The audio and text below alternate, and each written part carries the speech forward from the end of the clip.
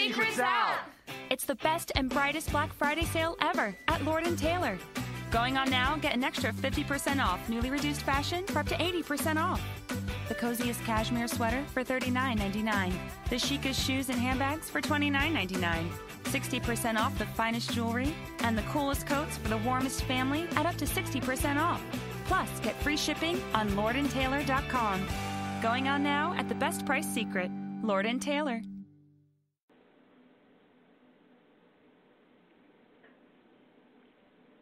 Blog Talk Radio.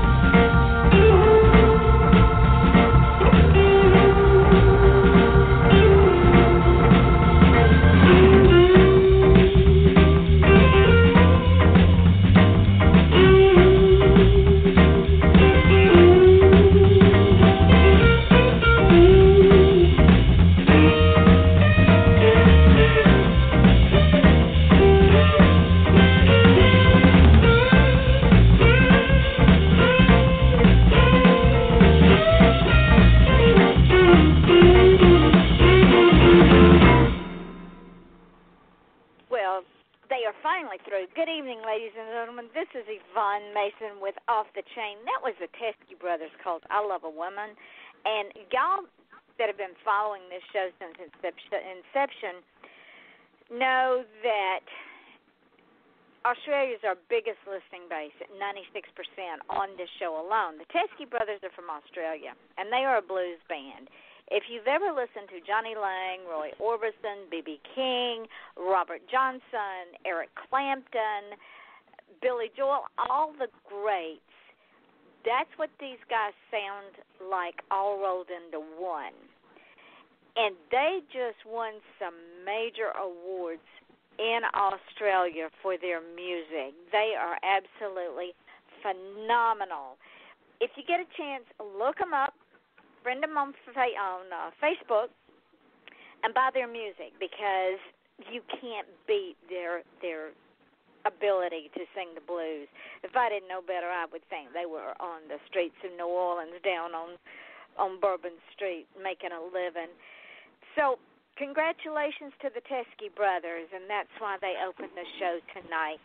Now, it is the evening before Thanksgiving. It is Wednesday here in the United States. We call it Thanksgiving Eve. Tomorrow is our Thanksgiving Day. But, you know, we need to take a break from cooking and prepping and all the crap that we do to overeat tomorrow and be miserable all day. So we decided to run the show. And I am so tickled because this show is about all of y'all, it's about my guests, about the listeners. And when I ran the numbers this morning, the show itself, ladies and gentlemen, 75,159 listeners.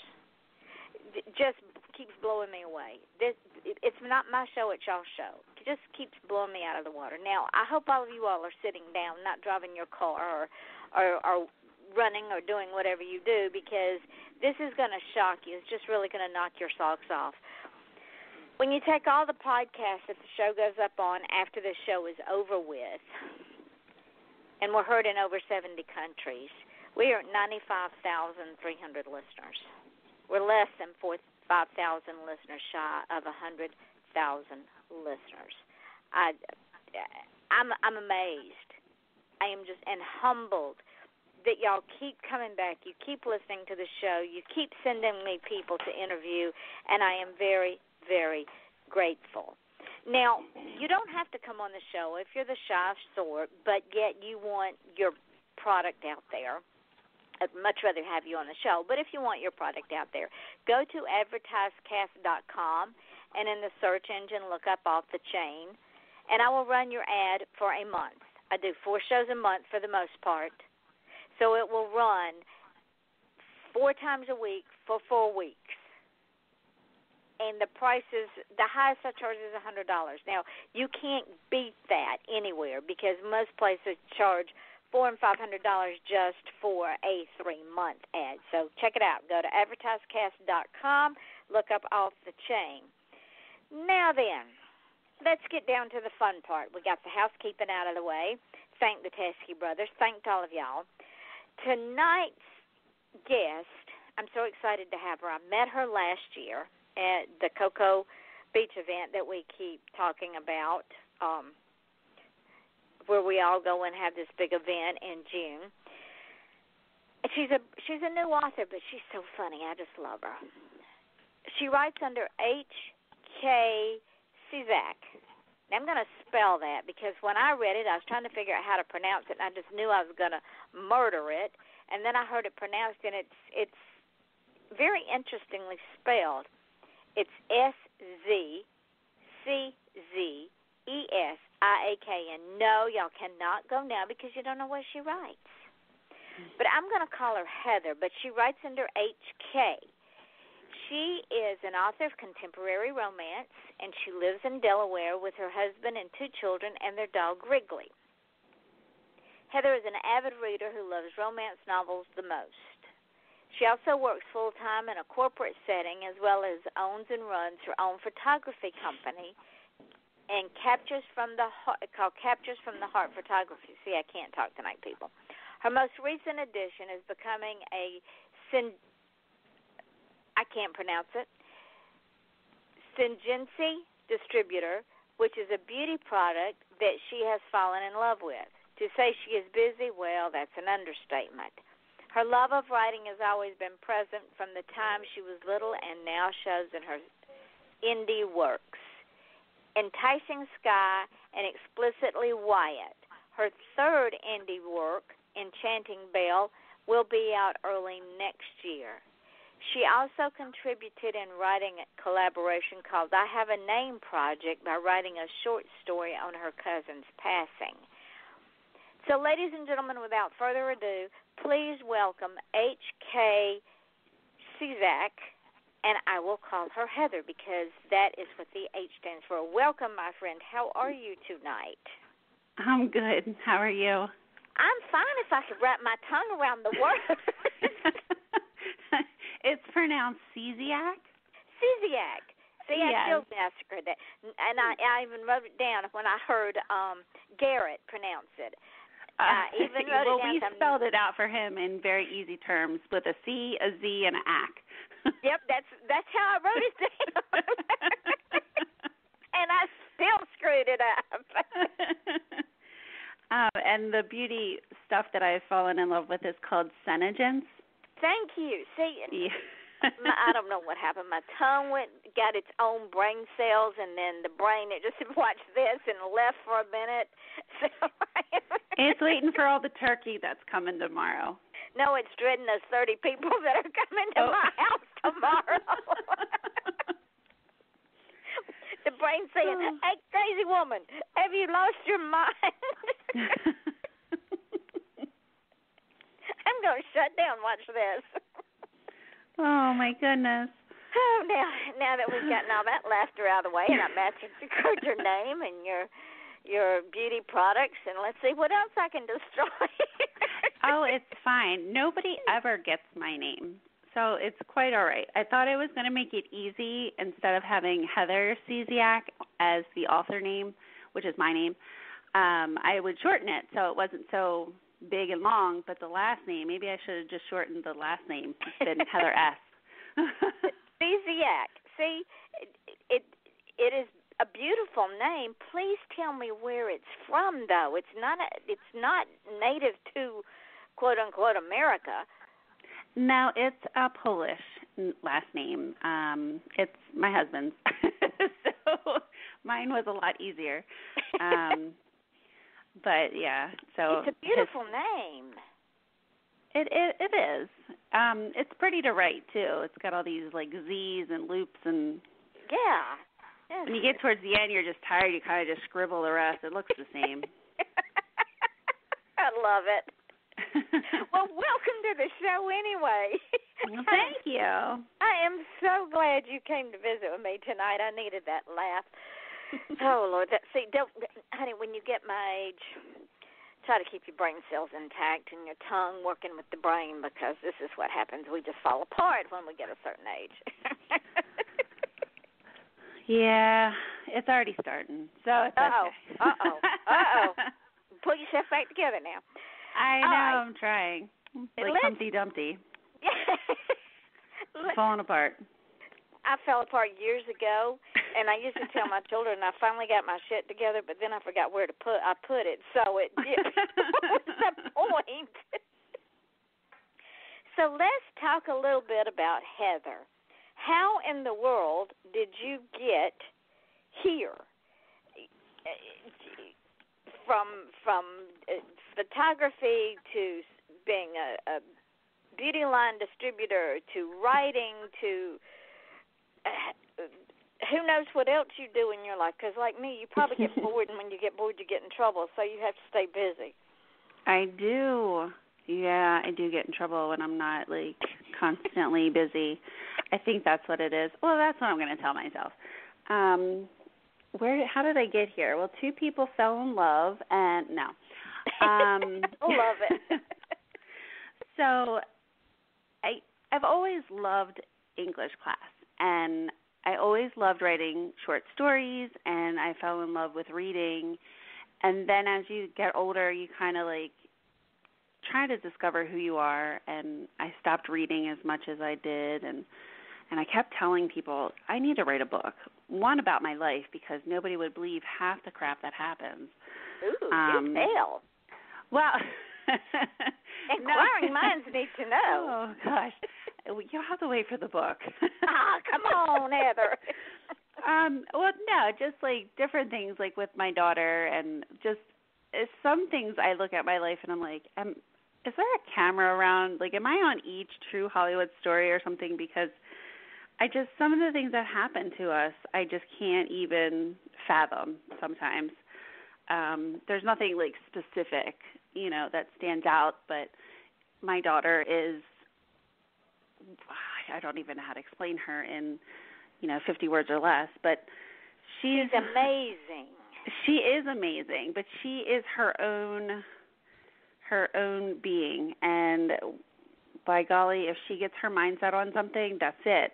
She's got to do it. And I don't know how long ago it was, but she decided she wanted juice and she went into our little back room where we keep juice and stuff so we don't have to keep it all in the fridge and she decided she was going to make it herself. So she got a cup and yeah. So the juice went all over the floor. She just finished the rest of the juice on the floor. It was cranberry juice, so it was lovely shade of red. And she was pretty much doing like snow angels in the kitchen floor in the juice. So it I mean, just some things that you just you're like, how is this even possible? Well, So you know, it was on we- the floor. I mean, she Well- made do with what she had. It was on the floor. Let's be creative. Yeah, yeah, she was very, very creative. That's funny. I mean, don't worry about drinking the glass you overfilled. Let's play in it now. Well, yeah, I mean, it's there. Why not? We'll clean it up Oh. later, but right now, let's make snow angels out of cranberry juice. yeah, yeah, she's she's something else. So that's why I'm always like, oh, I need to write a book about my life because some of the things that we come across and you know just happen to us on a daily, weekly, hourly basis, um, just are hard to believe half the time. I I just find that amazing because she took the whole whole thing of making lemonade out of lemons to an entirely new level. She did. She's like, well, it's down here, might as well play in it. Yeah, why not? What else you gonna do with it? Mop it she up? could That's no fun. she could make a swimming pool out of a puddle. No joke there. See? Very creative. Very Mhm. creative. And okay, so when you what was it about English that you loved? I know it wasn't diagramming sentences because to me that No, it was boring. not diagramming sentences, and it wasn't um sentence structures either.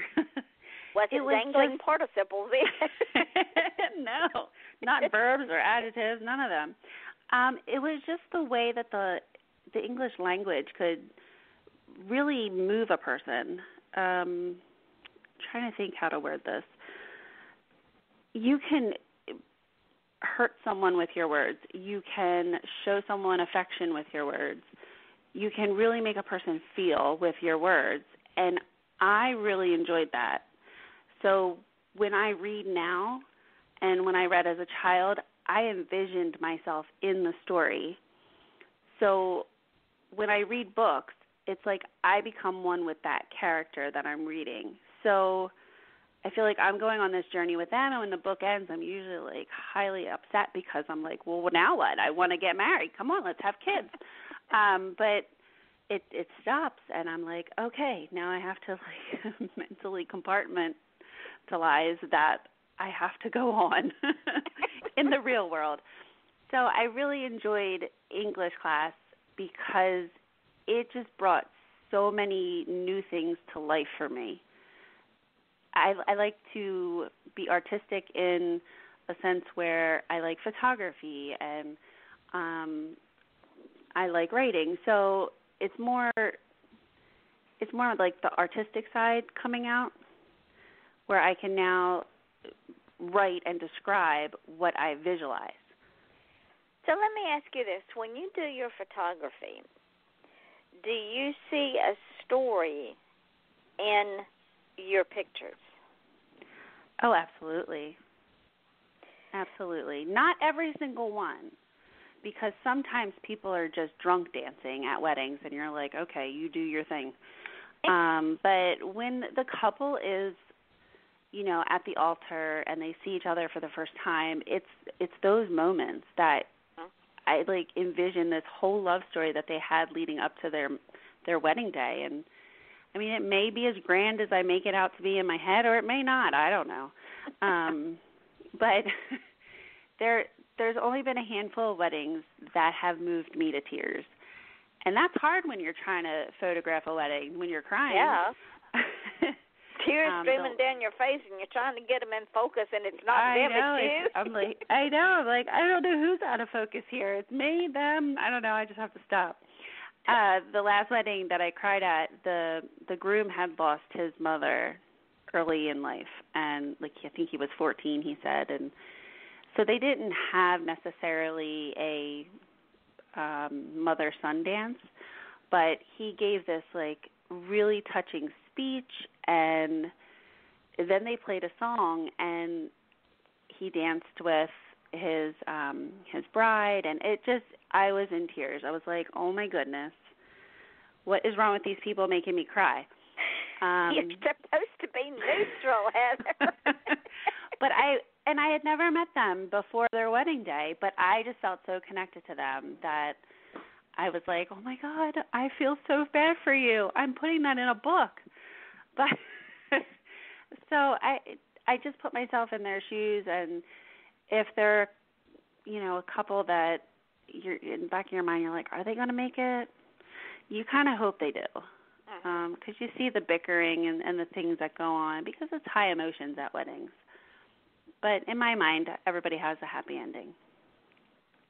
and that that brings me to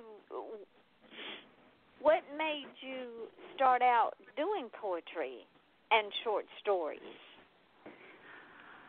Oh, um, many many moons ago, when I was a wee child, I I like to say that what I was writing were song lyrics, even though I'm not musical at all. I like to sing, but I can't guarantee I'll hold a tune. But so basically, I was writing poetry with repeating verses. That would have been the chorus, but I I always kept them in a binder, and it was just an outlet for me to express these emotions that I was um, either observing or feeling or wondering about.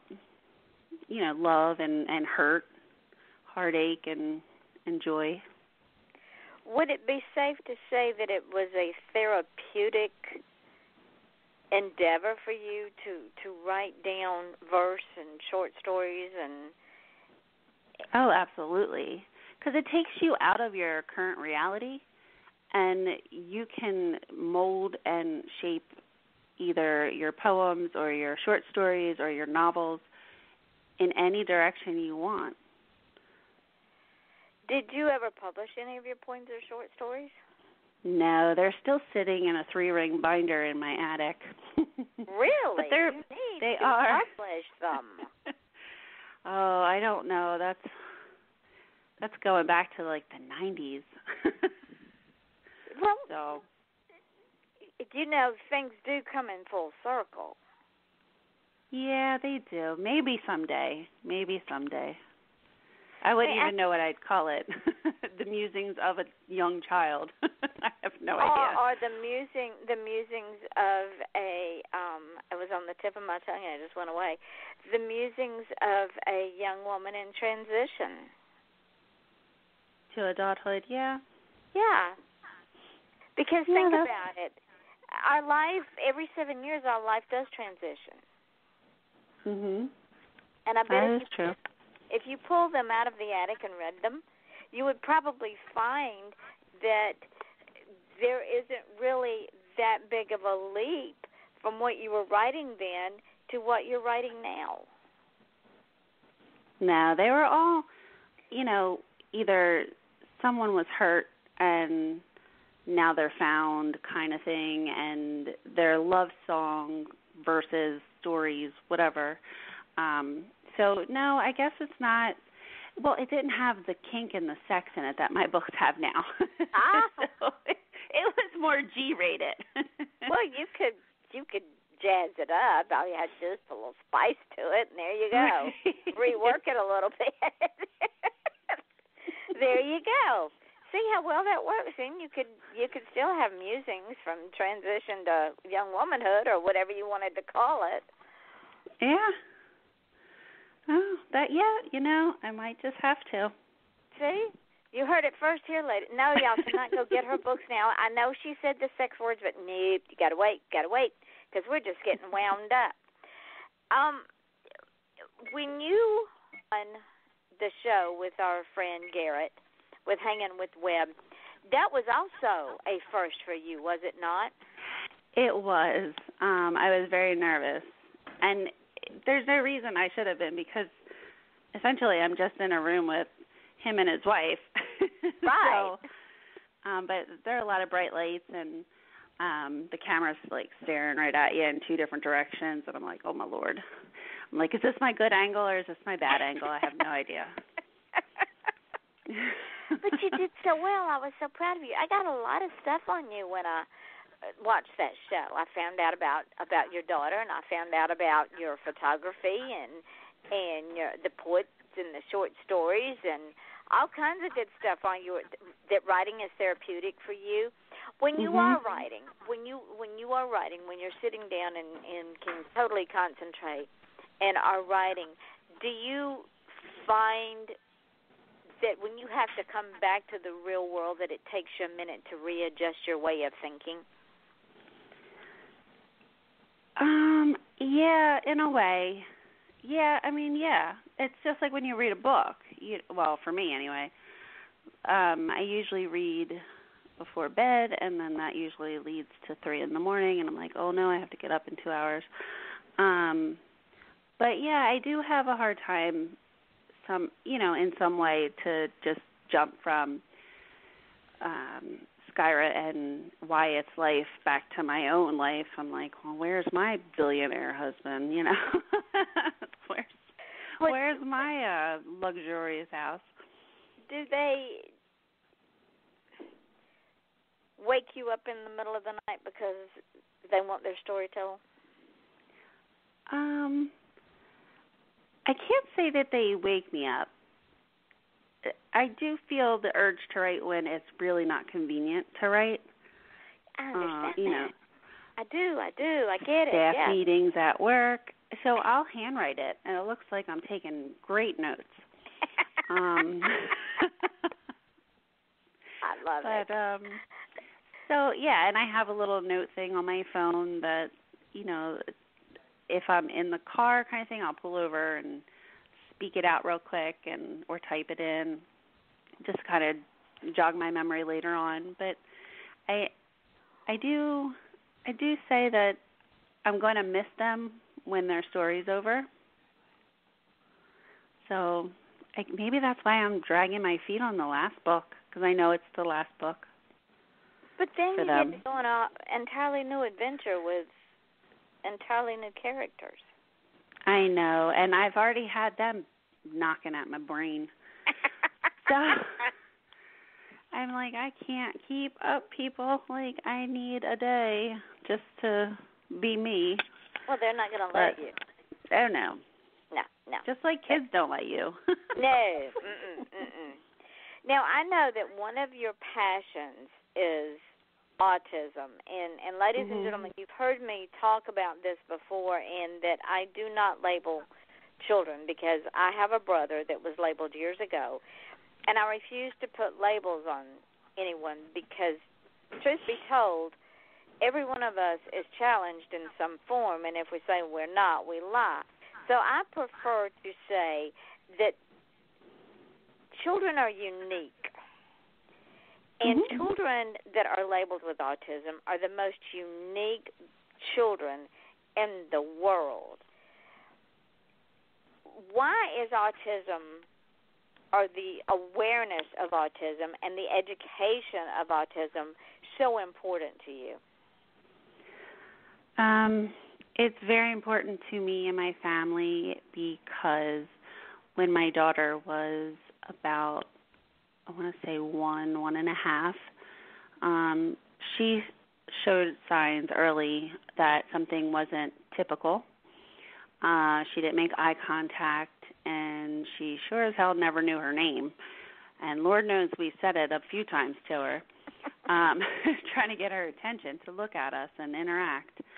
Um, but she wasn't hitting those milestones, so we brought it up to the doctor, and we got to see um, a person with a local com- charter. I don't I don't know if they're everywhere, so I don't want to say that they're everywhere, and everybody should go seek them. Um, but it's called Child Inc. And from there, we met this fabulous gentleman who had a son of his own that showed these traits in his earlier days, and so he kind of knew everything that we were going through, and um, so we had testing from there and they they test a kid that they think is on this spectrum um, with different things like calling their name, seeing if they respond to typical things like you know look at this or things that are we take for granted i would say mm-hmm. um and how she would you know hold things and play with things and just how she interacted with others um so I was in denial in the beginning, and I was like, "This is not happening." Uh, but I guess it took, you know, a short period of time because you don't want to ever deny your kid having an opportunity to get early intervention, no matter what it's for, whether it's for reading, writing, speaking. You know, it doesn't matter. You you don't want to hold them back, and right once I I got over that within myself, I was able to fully jump in and and we got her the help she needed. She was the youngest to ever go to the school here in Delaware for um kids that were on the spectrum or labeled autistic. And um she's just thrived since we've gotten her the help and because of the programs that we've jumped into and and been a part of and raised money for and we speak our minds when it comes to things for her. We're her voice we're her eyes we're her ears and we don't stop.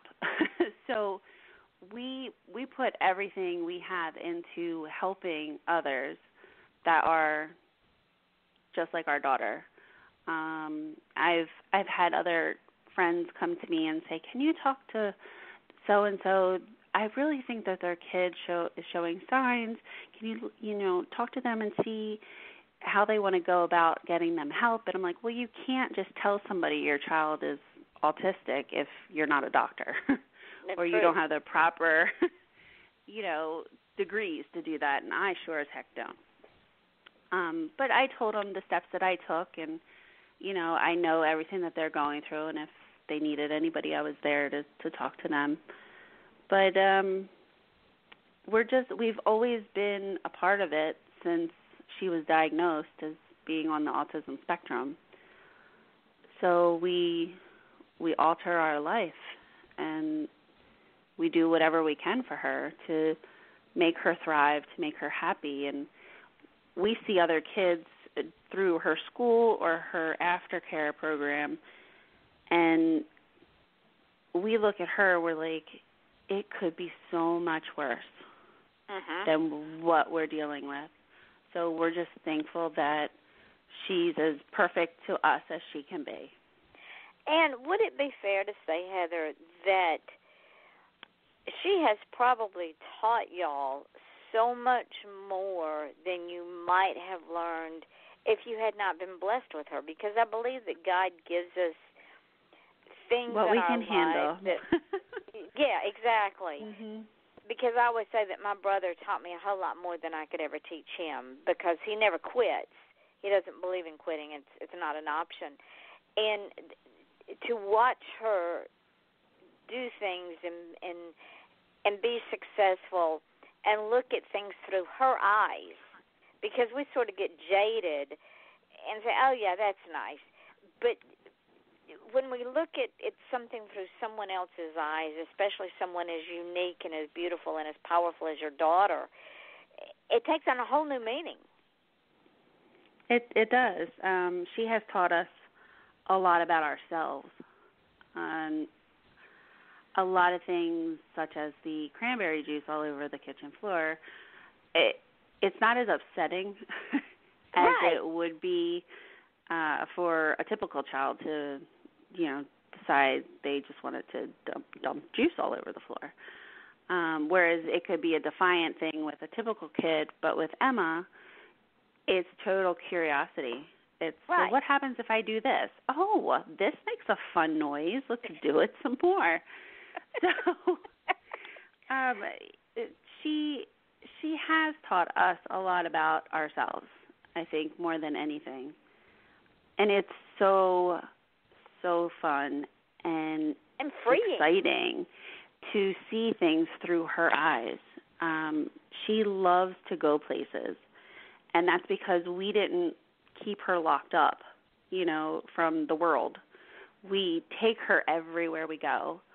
Um, so she's gone to the movies. We've gone to we go to restaurants and we go everywhere and we take her. Some days are a little rougher than others, but you know, it's just her saying, "I've had enough of this. Like I'm I don't want to shop anymore. I'm good." I can understand that because I hate shopping. I'm I'm in that boat with her. Go Emma. but if we say we're going to go to the mall, she's already got an agenda planned. She wants to hit the Disney store and Target, and I'm like, "Well, you know, okay, we'll go." And she doesn't ask for things. She just likes to look at everything and and play with it in the store and put it back. I'm like, "That works for me too." well, I, before the show, uh, we talked briefly about my friend Brittany Quagon, who is like me and a psychic intuitive and an empath, and she teamed up with Yale University, one of the most prestigious universities in the country, and they are running a project. And she's setting up this. Pro- she's writing the the synopsis or the whatever it is for this project, and the project is to take individuals that have been labeled, and you and I told you before, I hate labels, but if mm-hmm. they've been labeled schizophrenic and or and or autistic, in trying to determine if indeed they have been quote unquote mislabeled, that they're really not that at all, that they are psychic intuitives, they are empaths, but they have not yet learned how to throw up that wall when they get overloads and when they do hear ladies and gentlemen we're not crazy. We do hear voices because people we hear things and it's it's it's not insanity and it's not crazy people talking to us. And in order to understand psychic intuitives and empaths she sat down with the heads of this university and said okay this is what happens this is what happens and this is what happens. And what they told her was that's what happens to autistics and to schizophrenics. And she says, I'm neither of those.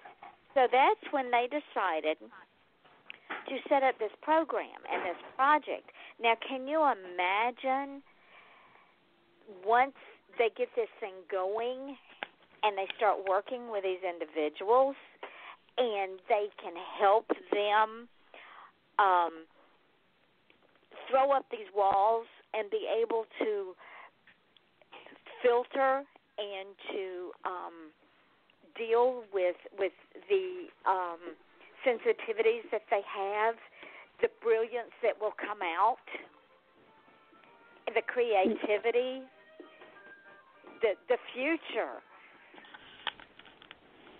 Yeah, no, I mean I I can see it in her um in ways because she she'll look in a direction and and it's like she sees something or she hears something and I'm always like, What are you what are you seeing? What what are you looking at?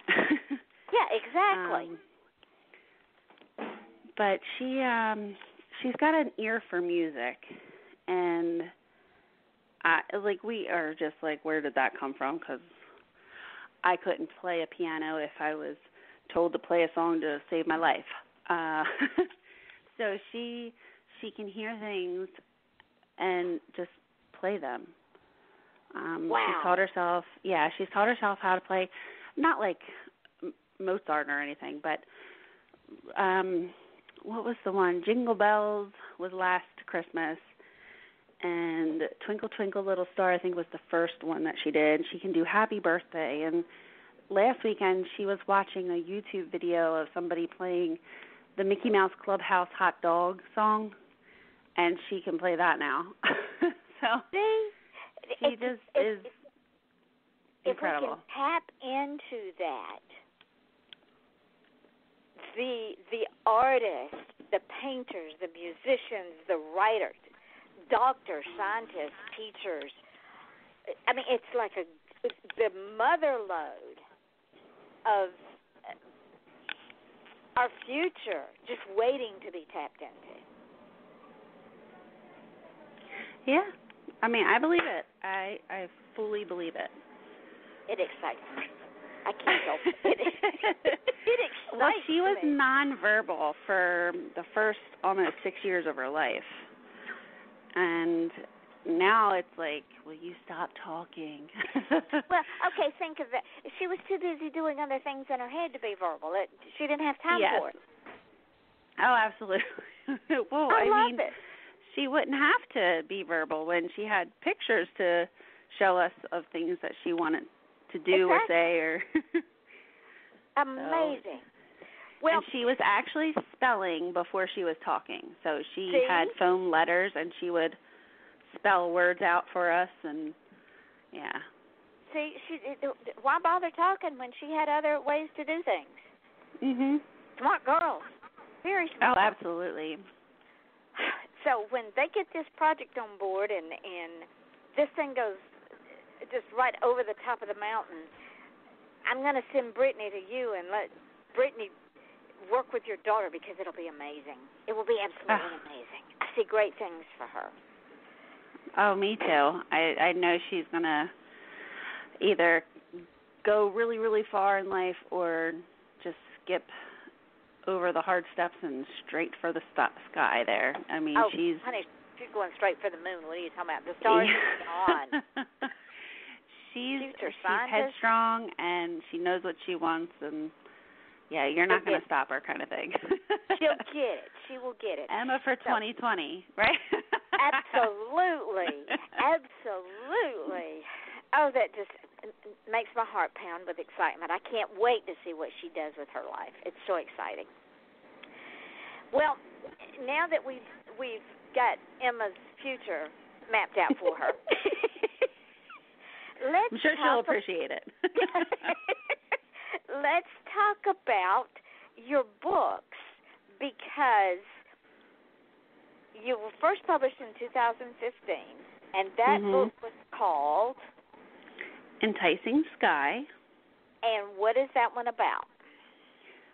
Oh, everybody's future dream of a spouse. No. Um it's I like to describe it as two different individuals um with different goals for their own lives.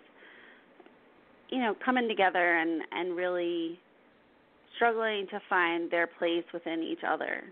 Um how to be a couple and and how to I guess I wa- I guess make it work um, for what works for them. Wyatt is a man that got what he wanted, and he was pretty much uh, sex in a suit.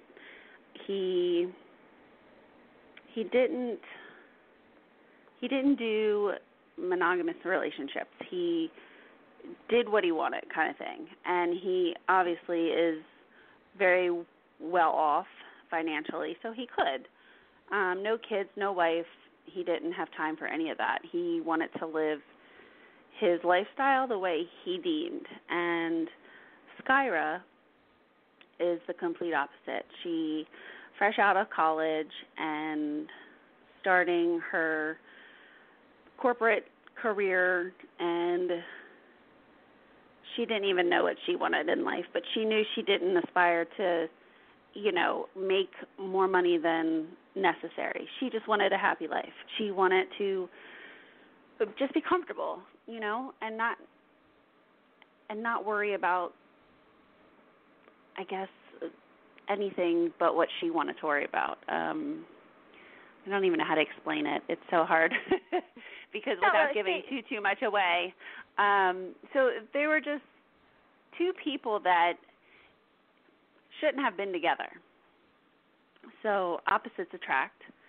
She saw him and they're in a sandwich shop and it's a dive sandwich shop too by the way. So it's more her class than upper class like his normal um eating arrangements would be. But he was with his brother, Riston, and Riston is more laid back, even though they come from a wealthy family. Um, but Riston's more down to earth, and everybody was like, "She needs to get with Riston," as they were reading it, and I'm like, "Just give it time." um, so everybody was rooting for Riston, but Wyatt won out in the end, and he was changed by her.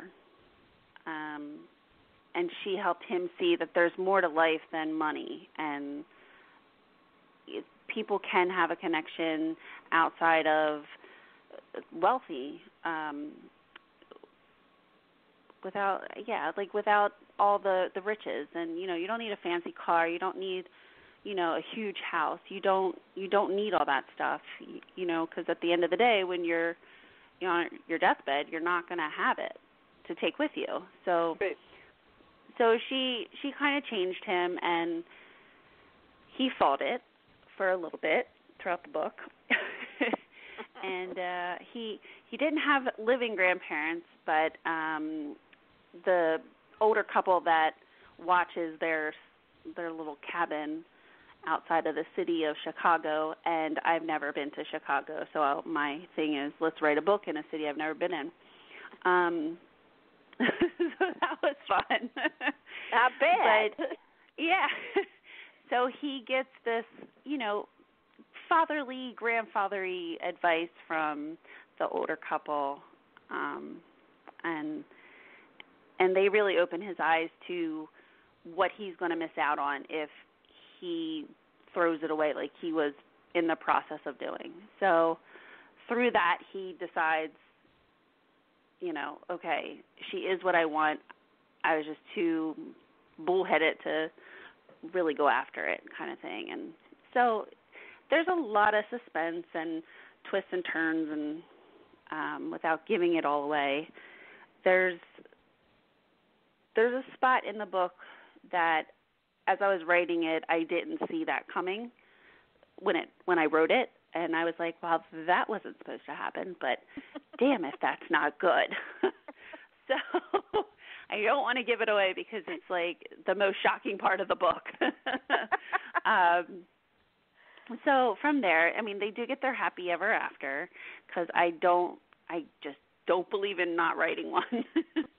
um I wish everybody a happy ever after kind of thing and uh I I set out to write the book where it could be read as a standalone, but as I grew on the characters, it would complete each other with each story. Um, so then came the next book, which is actually a prequel. So that one is called um, Explicitly Wyatt. Uh, I heard a lot after people had read um, Enticing Sky that they wanted to know about Rist or not Riston, but they wanted to know about Wyatt's life before he met Belle. Or oh my gosh, I'm mixing my characters up right now because in my head they're fighting to get out. I'm sure. Uh huh. Um, do that. they're like, talk about me. Uh, so, so everybody wanted to know about Wyatt before he met Skyra, and I was like, well, I I don't know if I can do that. I mean, you, you read he was a man whore, right? I mean, what else is there to write about? But then it came to me, and I was like, oh, damn if he's not a fascinating human being in my head. um, but it. I brought him to life, and the it, the book is really a prequel to Enticing Sky, but I wrote it after, and it's about the two brothers, Wyatt and Wriston, and therefore to lead into this next book that I'm literally stuck at like forty-seven, fifty thousand words. Um, as I try to get to 70 or above before I can call it quits. Uh, it's Enchanting Belle, and it's about Skyra's feisty little best friend that she was a roommate of um, until the happy ever after with Wyatt.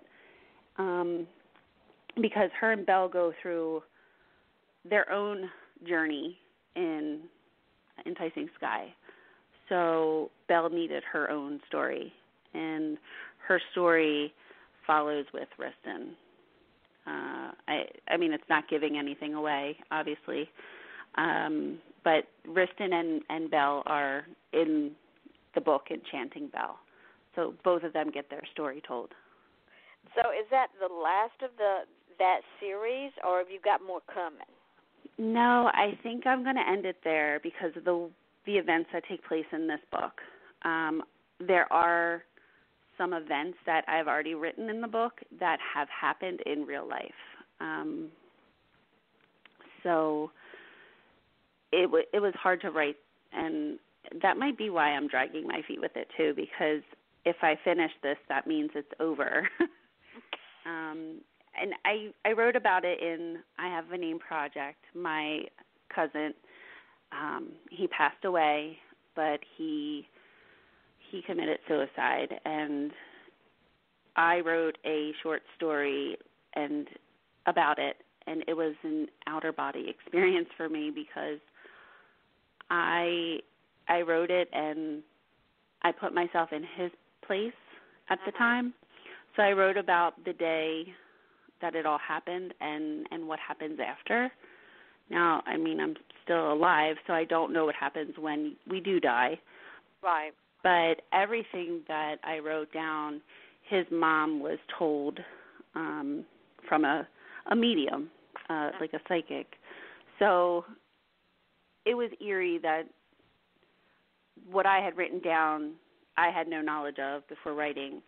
Wow. And his mom, after the fact, told me that the story really touched her because of those events that I wrote about were pretty much what she was told, and that's why I say it's like an outer body experience when I wrote that. Um, well, who's to say that your cousin didn't assist you in the writing I fully believe he did. I fully believe he did. Um, I fully, fully believe he did. So. It was meant for you to write that story. It was meant for you to be part of that project. Oh yeah. Uh it and I don't get anything out of it. Um it's all going to charity and for a foundation. It's called I Have a Name Project and um it helps homeless people and um suicide victims, uh their family. It it helps a lot of people. So it did feel good to write it. Um I I, I don't know. It's it's a sad time to talk about it, but uh I think his story needed to be told and and who's to say that that his story doesn't help someone down the road? Right. I don't yeah, I don't know how many copies the the book has sold cuz mine was just a short story in a book of many um, many people had hard times that they even went through, and they wrote about them. So I I just put certain things that had happened from his his death in Enchanting Belle. Um, so it was it was hard to write, and I, I feel like if it if it's over and I'm done, then then it like finally puts it to rest, and I don't I didn't feel so far that I was ready to to finish the book. Like I wasn't well, ready to put it down. when it when it is time, he'll tell you it's time. Say, okay, Heather, you you've played around with this enough. Now put it to bed and move on to the next story because I you do have characters screaming at you to get out I and play. I know. It's oh, it's horrible. I was I signed up to do an anthology and I had to drop out because I was like I just can't I can't commit to this um this story and I was writing it but I felt like it was forced. Mhm. So- if it's forced, it's no good. Right, and it, it was a genre that I personally don't have any experience writing in, but I was like, it's a challenge. I'm going to do it. Uh-huh. it was vampires and paranormal stuff like that, but I was like, well, I mean, billionaire vampire, same thing, right? Yes, absolutely. Guess what? You're not going to believe this. Our hour's gone. oh. it went. It went. It's gone. But that being said, I want you to come back okay. Because I have had so much fun tonight, and it's purely selfish motives.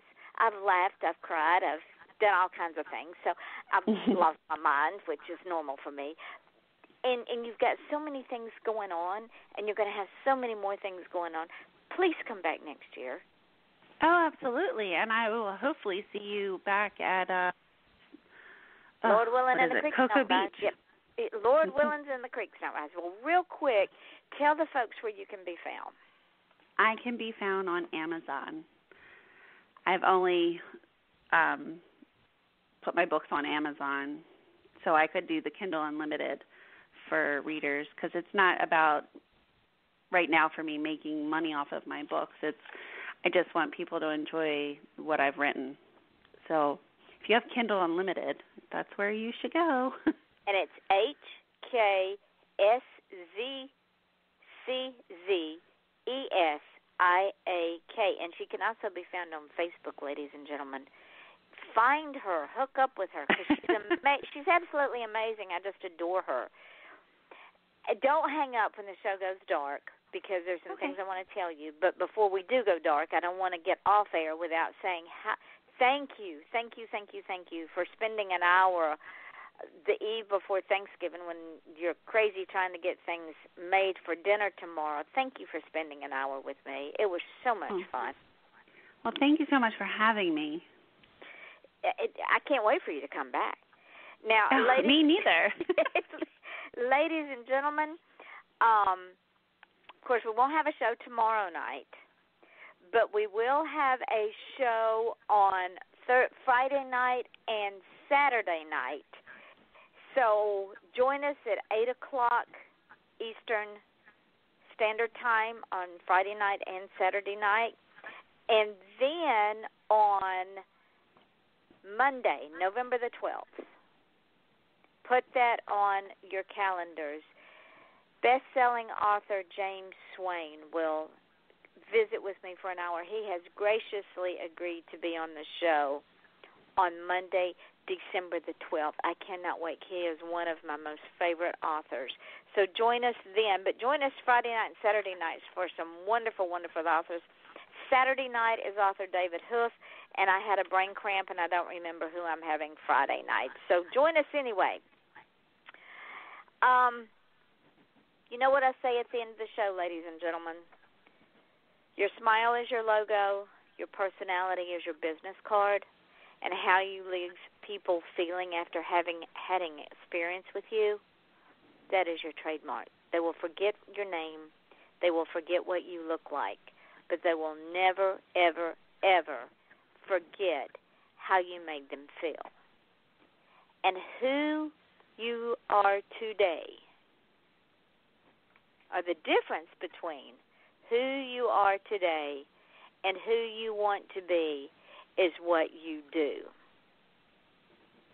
And if you want to achieve greatness, would you please stop asking permission because nobody's going to give it to you. Just go out and do it. Just just be like Emma. Just do it and be great because she is great.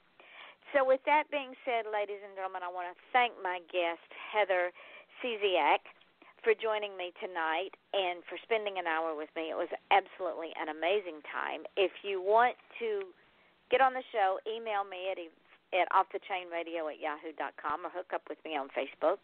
If you want to advertise on the show, go to go to advertisecast.com, look up Off the Chain, and pick your poison. So until Friday night at 8 o'clock Eastern Daylight Time, this is Heather Szczesiak and I saying good evening. All right, my darling, we are off the air. We are now in the archived portion of the show, but I wanted to let you know that when I get off from here and the show goes up into archives, I will tag you in the link on Facebook, and okay. you take that link and you spread it around. Absolutely.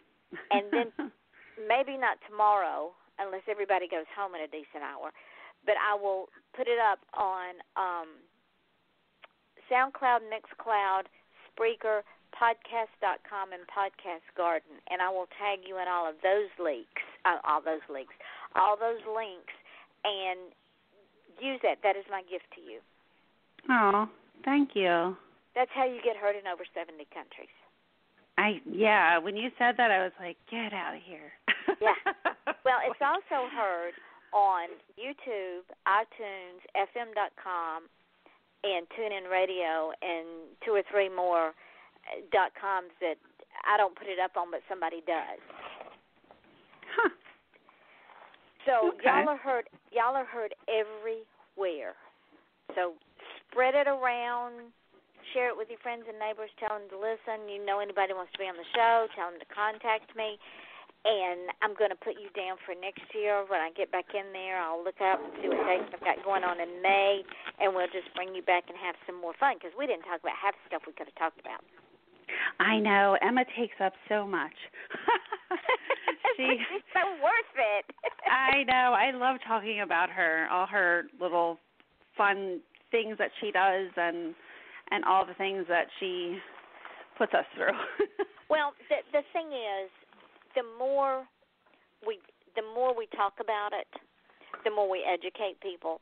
The more we educate people, the more people are aware, and the more people are aware, the more people will embrace. Oh yeah, I mean we still get stares and and I'm so jealous of her because she will never know what it feels like to be teased. I mean, they can tease her, but she's not going to feel like we would. Right, because it it doesn't have the same effect. Mm-hmm. Words have power, and she owns those words, so they can't hurt her. She rises yeah. above it. She's like the top that rises to the top of the, the the container. She's like the cream that rises to the top of the container. All the the silt, slip, whatever stays in the bottom, and she just rises to the top above it. Yep, she's she is just amazing to us. well, see, she's a handful, need, but well, what I need to do is we need to do a show with you and um Julie Morgan, and I think I have another mm-hmm. author who has a beautiful, unique child, and we just do a show and bring Brittany in and do a show on these beautiful gifted children and just blow the whole thing out of the water. Oh, that would be fun. Yeah, I told um Julie I was like, I think we're going to be BFFs now. yes, absolutely. absolutely. Because Just because our our daughters are very similar. I think hers is more um higher up on the spectrum, where I guess more functioning, I should say, than than Emma. But I think her daughter might be a little older too. I'm not quite. Yeah, uh, yeah, she is. And and who knows? Once Emma starts hitting puberty, you're going to see this blossoming flower. We are dreading puberty. see, it's coming. I'm telling you because there's something about the hormones that changes the whole dynamic, whether you're quote unquote normal, who the hell's normal, or whether you're unique. And you're going to see such a difference. And because y'all don't hide her away, like they told my mother to hide my brother away, and she didn't. She did the yeah. same thing I did. She said, "Watch this." Do you expose her to life. Mhm. Yeah. And No. I mean, there's no reason to hide her. No, because she's a beautiful creature. She, you remember the the movie Beautiful Minds? Uh huh. That's her. Yep. That that's Yeah. Emma, and that's that's Julie's daughter, and that's all these beautiful, beautiful children that are so unique and have so much to give. And I'm going to end it on that before I start blubbering like an idiot. because I'm so proud of them. And so I will get you back on the show, and we'll work on getting that show going so we can have so much fun discussing all that. And it'll be a show dedicated to just our beautiful, those beautiful children. That sounds like an amazing show. All right, my darling. Thank you again so much. Thank you. I hope you have a great Thanksgiving and all your 30 guests. I will. They'll eat and they'll go home, and then I can do what I do. And you go get your pie out of the oven. Oh, it is. I got it out. All right, darling. And thank you again. And I will. I will get this up and talk to you later. All right. Bye Thank you so much. All right. You're welcome. Bye-bye. Bye bye. When we listen to the radio, we never agree on the station. Classic rock. Hip hop. Pop. Guys, quiet. The one thing we do agree on, we all want an awesome free phone. That's why we switched to Metro PCS. Stop by Metro PCS with the whole family and get four free phones of your choice from brands you love, like Samsung, Motorola, and LG when you switch. Metro PCS. Wireless figured out. Coverage not available in some areas. Sales tax not included in phone price. Free phone requires port. Excludes numbers on the T-Mobile network. See store for details and terms and conditions. Secrets out! It's the best and brightest Black Friday sale ever at Lord & Taylor. Going on now, get an extra 50% off newly reduced fashion for up to 80% off. The coziest cashmere sweater for $39.99. The chicest shoes and handbags for $29.99.